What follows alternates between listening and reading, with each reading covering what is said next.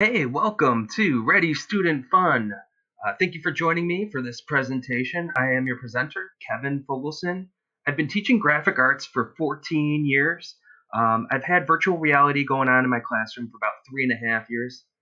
I teach at Antioch Upper Grade School, and um, feel free to email me if you have any questions. Just click on that envelope in the bottom corner there, as well as uh, a link to my school arts article in which I included student work in which they created in virtual reality, and then I 3D printed them. We'll talk more about that in a little bit.